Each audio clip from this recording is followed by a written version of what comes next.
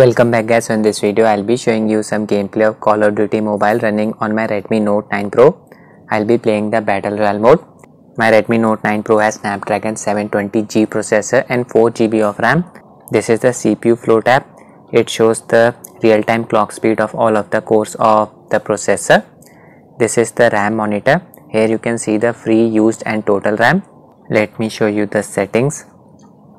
Here as you can see I have set the graphic quality to high on my Pocophone F1 that has Snapdragon 845 processor. Very high graphic quality preset option is also present, not on Redmi Note 9 Pro. Frame rate has been set to max. Hopefully we will be getting 60 FPS. So let's just start our game. I'll start the Battle Royale mode, Classic mode I played the entire match on my Pocophone F1. At the end, temperature went up to 41 degrees Celsius and this happened during the winter season. It is demanding running the game at 60 FPS with high graphics quality preset. Now I'll be using the Xbox One gamepad to play the game. Gamepad works by default. The gamepad is recommended for this game. Virtually no dead zones around the analog sticks I have enabled the MIUI game speed turbo mode interface. You can see the FPS counter here. Yeah, so now I'm in the lobby. 60 FPS, that's good to see. 58 FPS. FPS drop 55 FPS. So I'm noticing some micro stuttering on my Pocophone F1. The gaming experience was very smooth did not notice a lot of micro stuttering.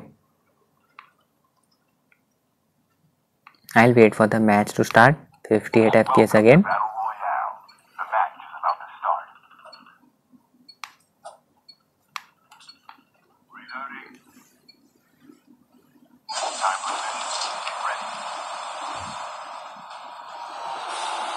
Fifty FPS there for about a second. We'll be jumping down. What happened to the CP Float app it got closed by itself.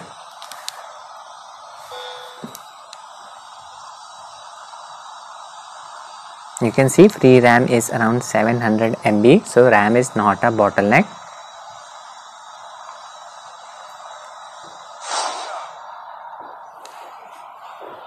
I'll stick with my team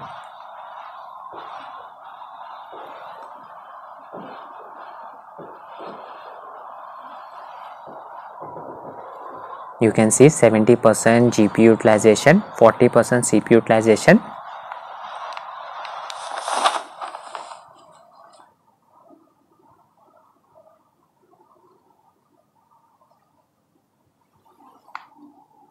Eighty percent GPU utilization, fifty-seven FPS,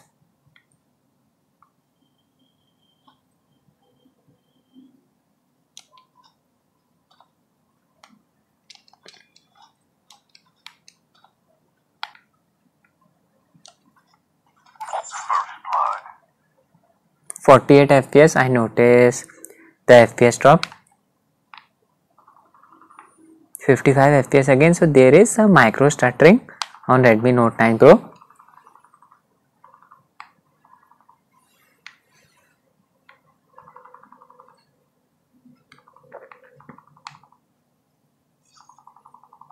Fifty-seven FPS, a slight stutter again.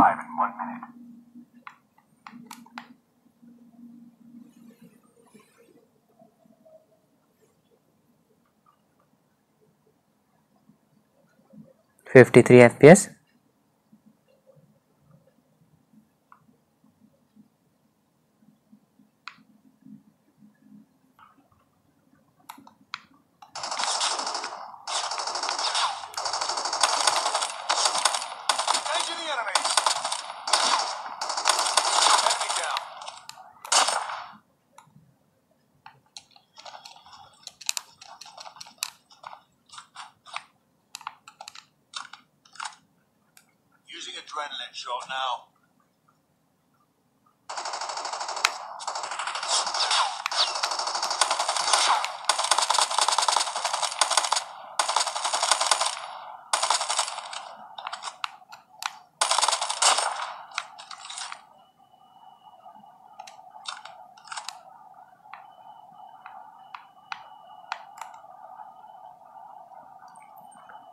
54 fps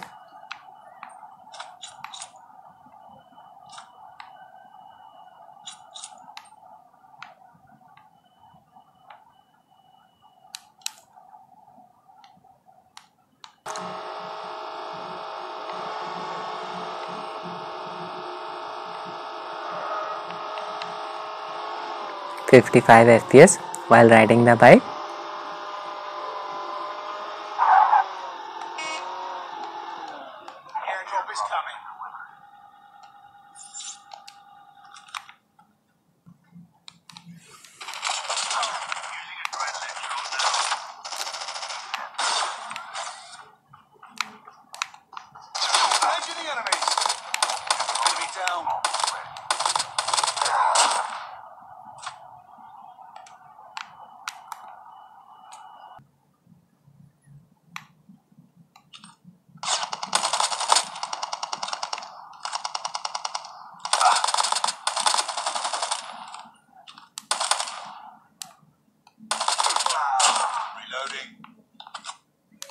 There was a slowdown there for about a second.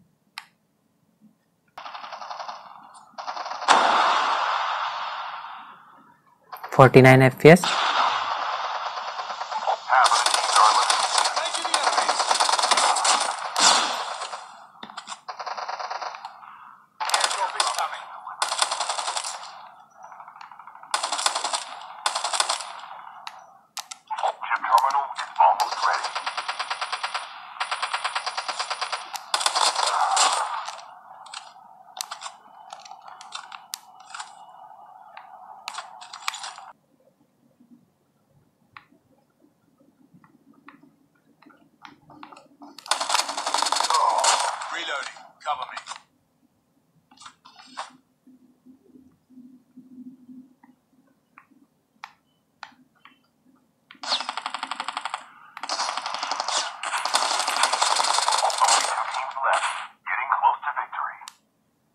Alright, match complete.